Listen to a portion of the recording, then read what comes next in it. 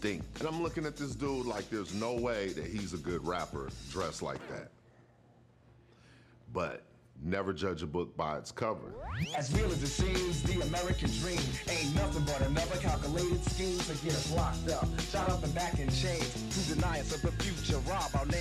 Rakim was out at the time. I would tell everybody, my buddy is doper than Rakim right now. He's 17 years old. You kept my history a mystery, but now I see the American dream wasn't meant for me. Cause Lady Liberty's a hypocrite, she lied to me. Promised me freedom, education, and equality. She never gave me nothing but slavery. So now look at how dangerous you made me. He's rapping about stuff that I'm not even beginning to think about, and I'm blown away. Calling me a madman because I'm strong and bold with this dumb full of knowledge of the lies you told. Promise me emancipation in this new nation. All you ever gave my people was starvation. Fathers of this country never cared for me. They kept my ancestors shackled up in slavery. And Uncle Sam never did a damn thing for me except lie about the facts in my It history. was amazing to me because I would look at his rap book. He'd have pages of poems in between raps.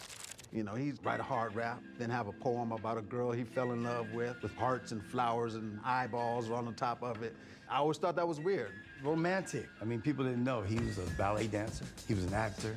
Whatever you're talking about, he knew about it. But he was saying stuff that we wanted to hear and we didn't want to hear about women, about us, about his mom. My mother never let me forget my history, hoping I was set free. Change that was put on me, wanted to be more than just free. Had to know the true facts about my history.